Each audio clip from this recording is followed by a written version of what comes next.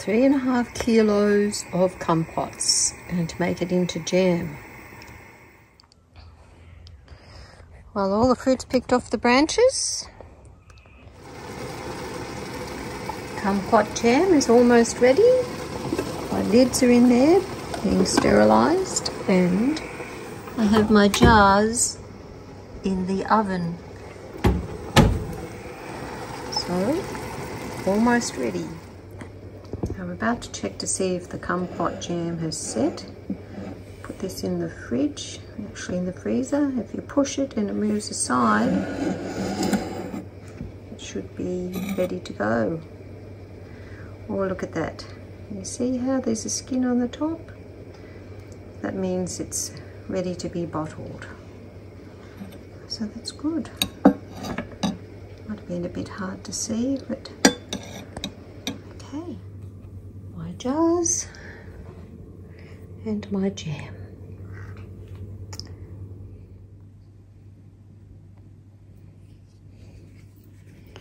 Okay, here we go.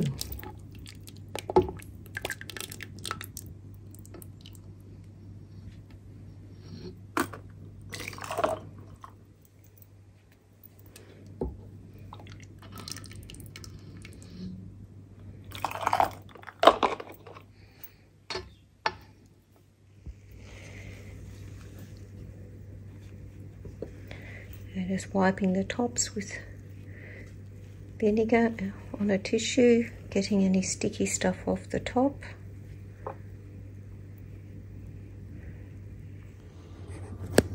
Okay, all made. Uh, I made about 10 litres. I ran out of little jars, so I put it in this big one, which we'll use first. I'll wait for them to seal. And a little trick I learned when making jam is to put about a tablespoon of um, vinegar in the jam after it's finished boiling and that helps to keep it longer. And this is the seeds from the kumquats. I put it in a muslin bag and that was inside the pot, placed inside the pot when it was boiling and just left it in there the whole time because it has pectin in it and helps to set the jam.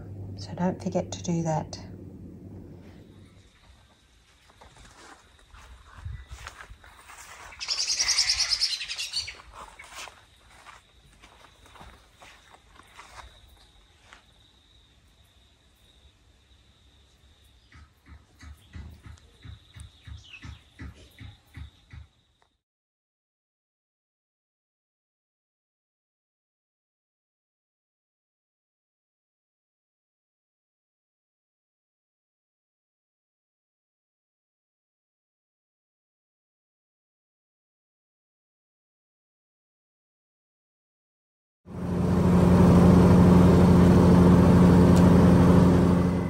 don't know if you can see that, but that's the moon.